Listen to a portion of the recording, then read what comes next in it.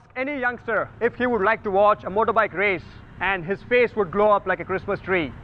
That is the charisma of this sport. We spend hours glued to our television screen watching MotoGP and other races. And today I'm honored to be with our very own champion, motorbike racer, and the 2015 Malaysian Superbike champion. He needs no introduction. And I'm meeting Rajini sir. Thank you very much for giving me an opportunity, sir. Oh, thank you. And he needs to defend the title, that is the Malaysian Superbike Championship. Unfortunately, in our country, sponsors only wish to sponsor cricket and other sports get neglected. And this is our sport, motorsport, motorbike racing.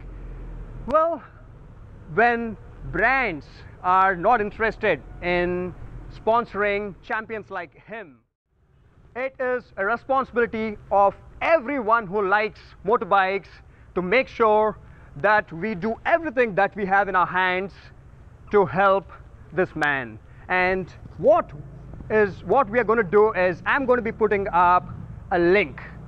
Basically, this happens throughout the world, and in India, we are not very aware of this. That is known as crowdfunding, and here I would like to call it fan funding the fans of the sport, motorsport, we are going to be funding this man so that he can keep up the pride of our country because other sponsors, other brands are not supporting as much as they should.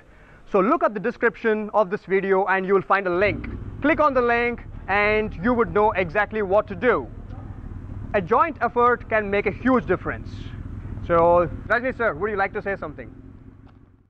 Uh, support uh, all The motorsport, you know, basically, yeah. Basically, in the, all the motorsports guy, because our India, everybody know like uh, mm, no supporting in the motorsports.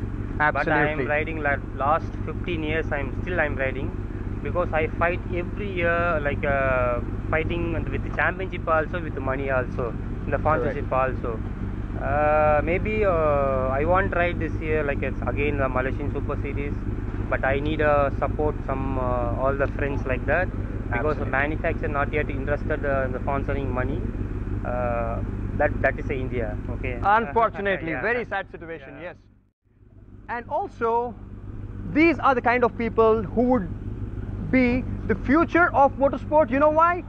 He would be training youngsters in the future because that is the only way we can dream of going to MotoGP someday, probably you know 10 years in the next 10 years sometime. So friends, let's support ourselves and not him and keep the pride of our country. Thank you. Look up the description and do share this video. I generally don't ask you to share videos, but this one you gotta share. Thank you. Bye bye. Rajini sir, time to write Thank you. Thank you. Thank you.